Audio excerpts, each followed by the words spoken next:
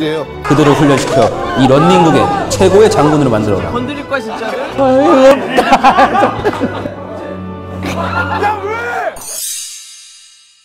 바람둥이라는 것의 기준이 뭐예요? 고수야.